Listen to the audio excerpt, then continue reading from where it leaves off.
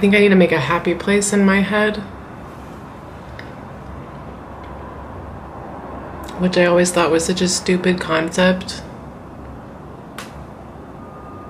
It's like one of those self help things that you hear about.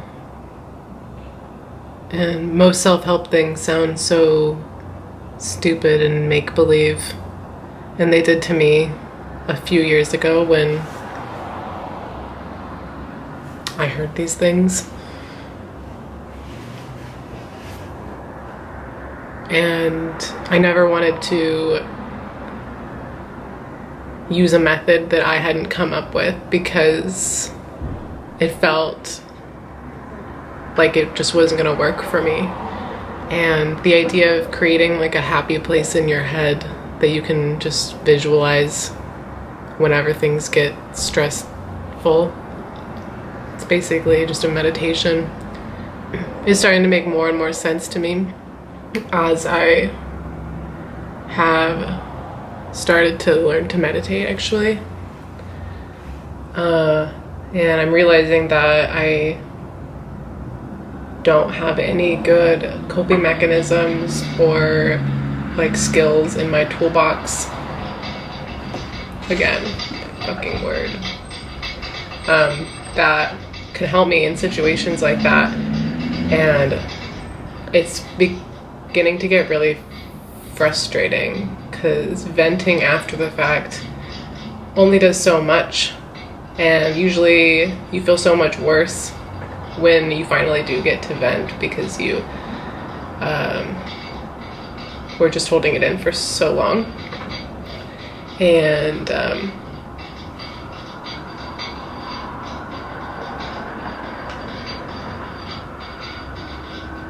I'm in kind of a weird place with one of my jobs right now. I don't want to say too much, and a lot of it's like my own issues, but um, regardless of why, um, I find myself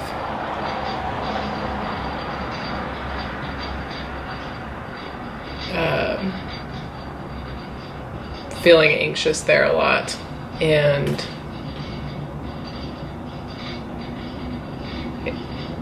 it, it's beginning to take over my life because I can now anticipate it. And um, I thought that maybe it would go away once the job wasn't new anymore, but it kind of hasn't. And it makes me think that maybe my gut was telling me the right thing about it in the beginning. Um, but I'm not very good at trusting my gut. You know, I always am like, let me just make sure. Because, which is, which is fair because sometimes it leads me in the wrong direction or sometimes it, my gut, like my gut feelings are rooted in like trauma. And so they sometimes will tell me the wrong thing and sometimes I don't want to trust that immediately because I feel like I would act a lot more impulsively if I did every single time. So, um, anyway, uh, I can, I sort of begin to anticipate the feeling of being anxious and it makes me more anxious because I don't feel like I have a way out. And so I was talking to my boyfriend and was trying to get him to help me brainstorm things that I could do and tactics I could use when I started feeling like that. Um, rather than just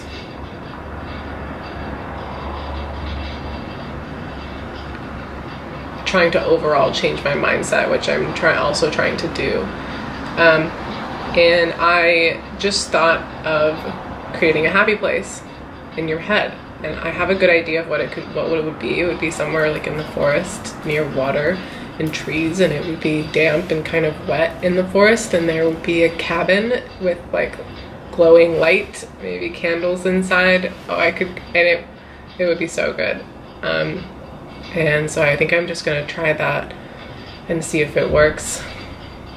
I was gonna write down um, what I've been visualizing. Um, maybe I'll try to visualize it first and like see what comes up and then try to write it down. Um, I'm also gonna try and get in the habit of keeping like a, whenever I feel like I need it, keeping a, a log of how I'm feeling. Like, whenever I feel the urge to write something, if something comes up, I want to write down like what I'm feeling. Hopefully, it'll make me more present and make me ignore any like stressful feelings that come up because when I do that, they become so much worse. And then, um, yeah, so I'm gonna try and do both of those things. Um,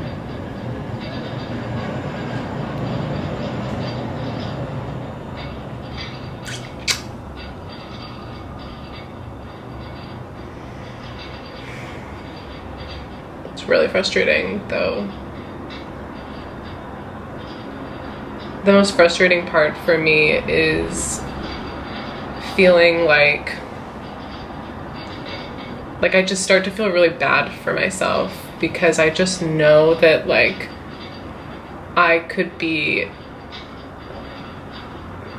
doing more or being okay i don't want to say like doing more and being more because i don't mean like going out and having a career and being successful. I just mean like i just i sometimes feel sorry for myself and that's a some a place that i get into that feels really terrible. Um because i just feel like this doesn't feel like me. Like i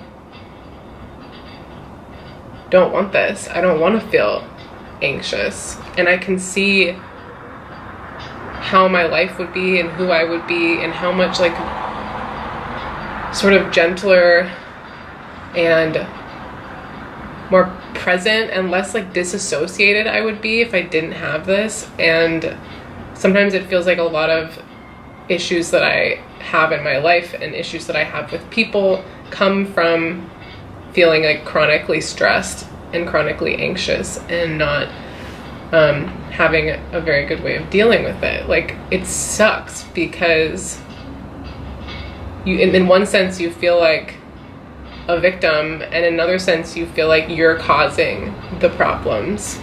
You know, like it's especially me because I I'm not someone who when I feel like when I feel bad, I don't usually it takes a lot for me to get to like a really vulnerable place. Like I'm not to be crying and opening up to you. I'm to get really close like closed off and shut down and irritated and angry. And because I'm so hyper self-aware that I know how I'm acting and I'm mad about it and I'm like it makes me feel really defensive. I don't like I don't want to feel this way. I don't want anyone to talk to me about how I'm acting, how I probably seem weird. I just like I get hyper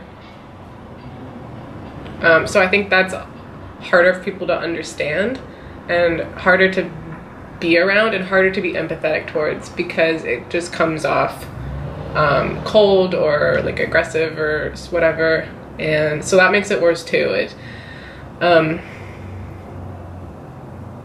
it's like a lot easier to be empathetic to people that are like visibly shaking and crying and are showing weakness, but I don't really show weakness. Um, that to me would make me more anxious, although ironically, I'm sure it wouldn't. I'm sure it would probably make me feel better, but it's just not something that I usually um, do. I if I I do that only with like whoever I'm very comfortable with, so I'll break down in front of my boyfriend.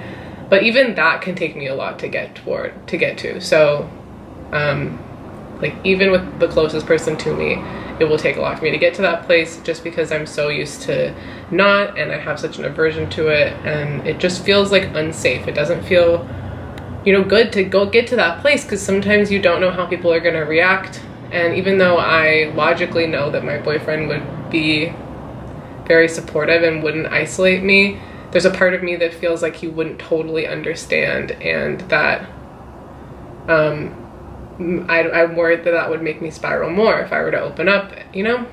So, um, it's very annoying, very complicated, boring, um, irritating shit.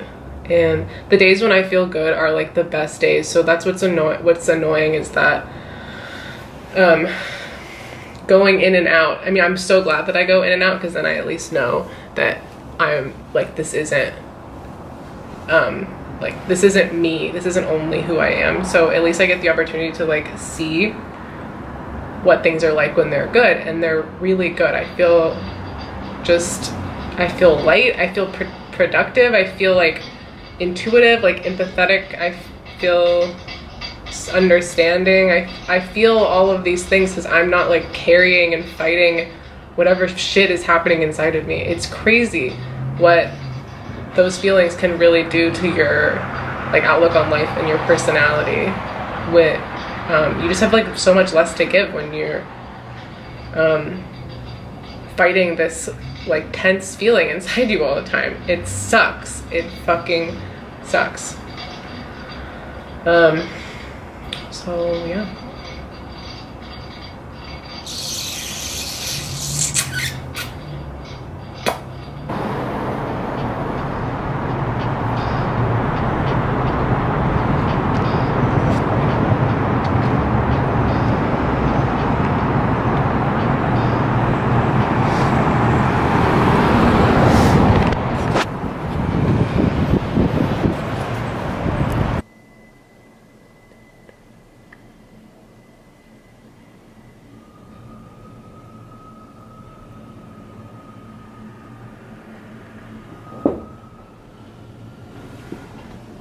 Oh,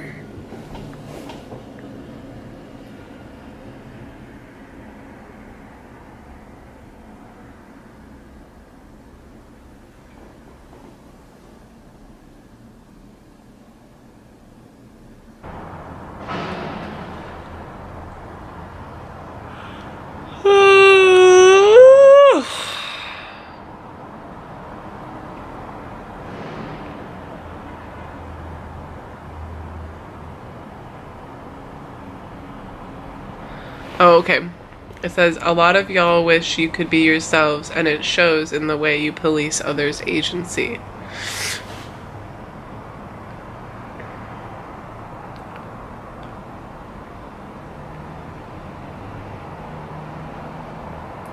And.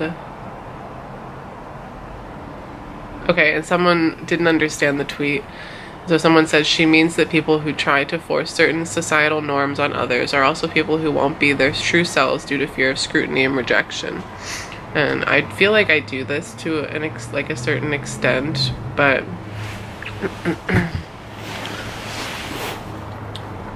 mostly just because certain people really irritate me. And I kind of in a way I feel like that is something a little bit different. I think um,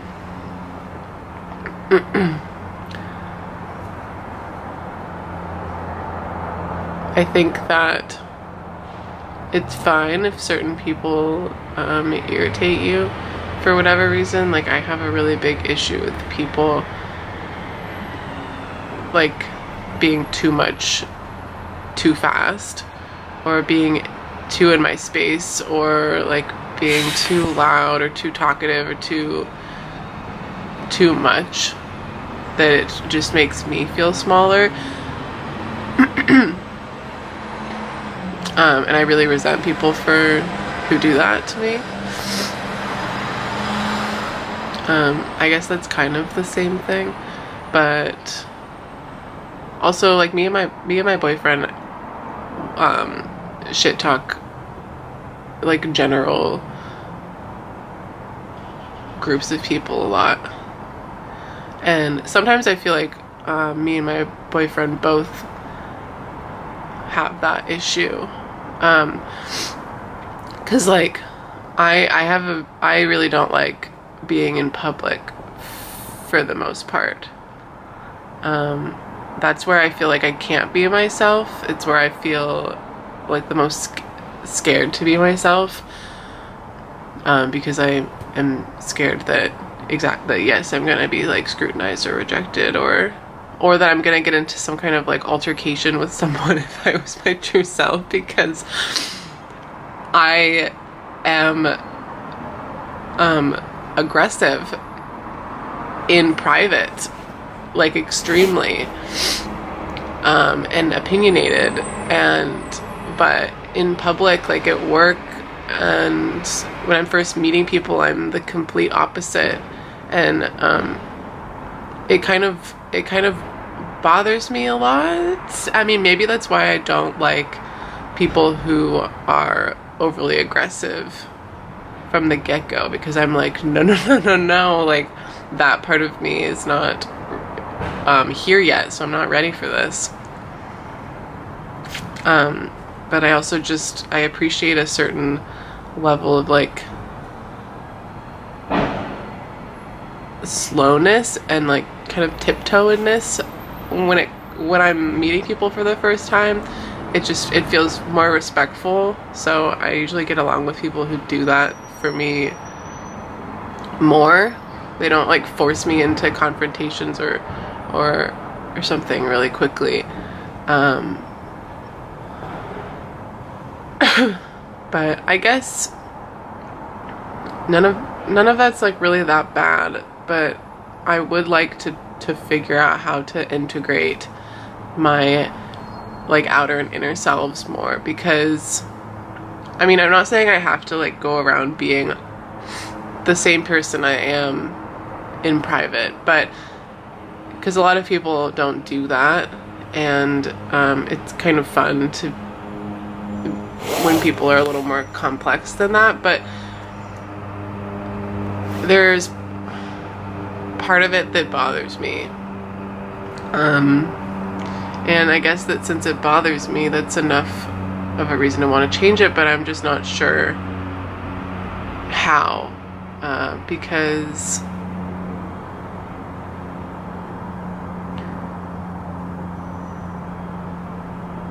I don't know.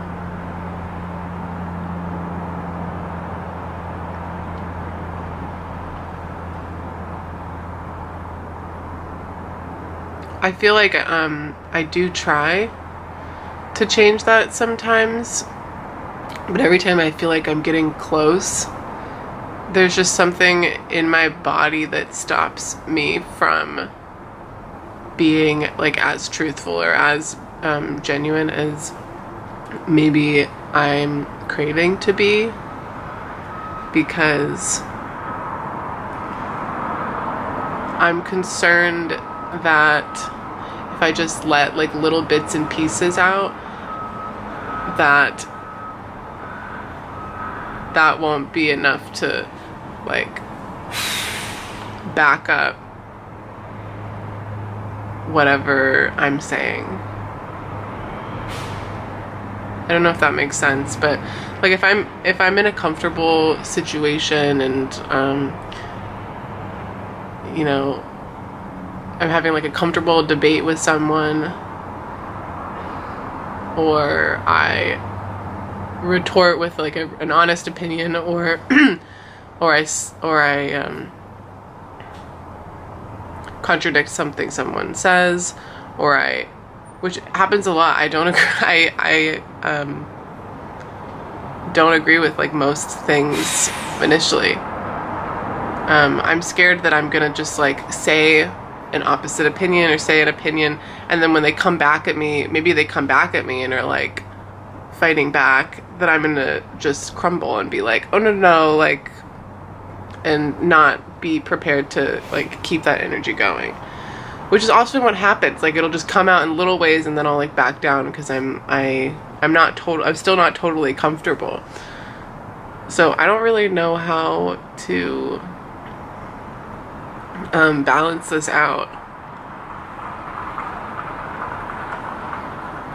Cause it happens, it happens a lot. Like I, it takes a lot for me to be really comfortable in a situation, and I, um, you know, in a lot of ways, I feel like I need uh, permission from people in order to be comfortable. Like I, or not per- permission, but like reassurance, and I guess a little bit of permission, like um, I have to feel like I'm allowed to like have all this space and that it's gonna be fine. I'm not gonna be rejected for it.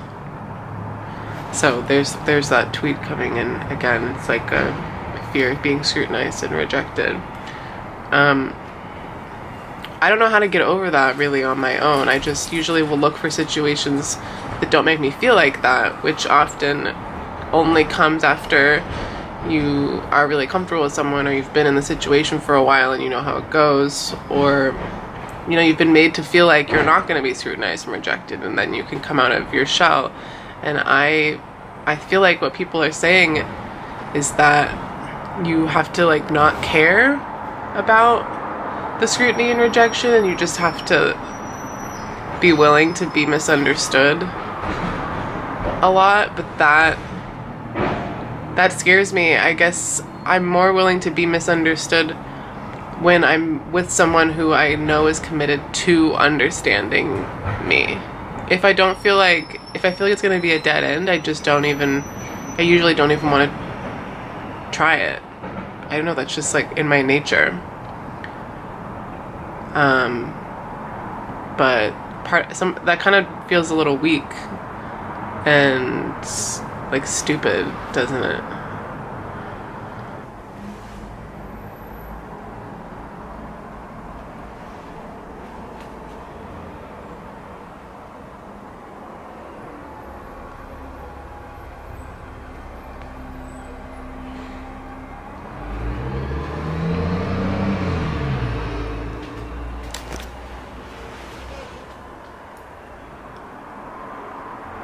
I thought this would look cooler, but it kind of is just making my face look very strange.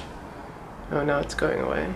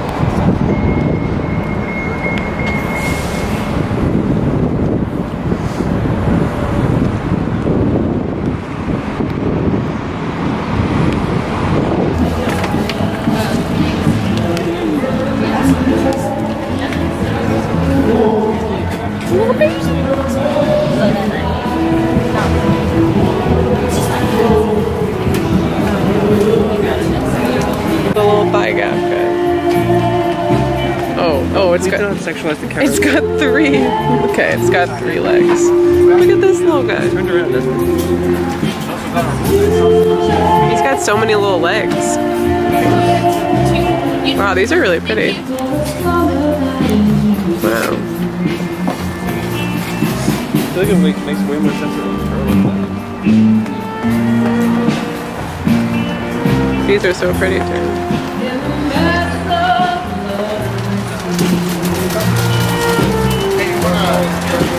Well